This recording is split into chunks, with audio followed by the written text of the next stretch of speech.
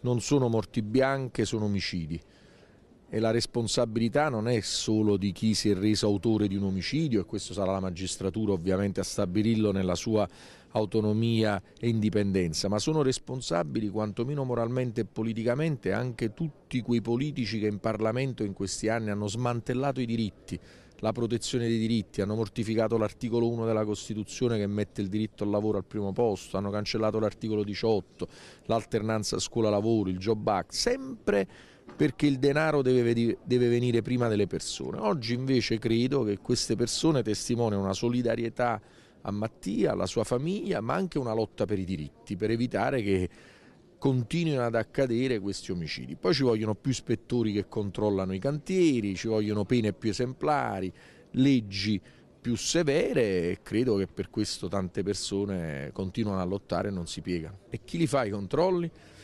Le fanno le persone se le persone non vengono assunte per controllare diventa più difficile fare i controlli. Se si cancella l'articolo 18 che diceva che se un lavoratore o una lavoratrice viene ingiustamente licenziata sarà reintegrata, è chiaro che quella persona non avrà più la forza di poter denunciare eventuali violazioni delle norme sulla sicurezza sui luoghi di lavoro. Quindi è un insieme di cose su cui bisogna lottare.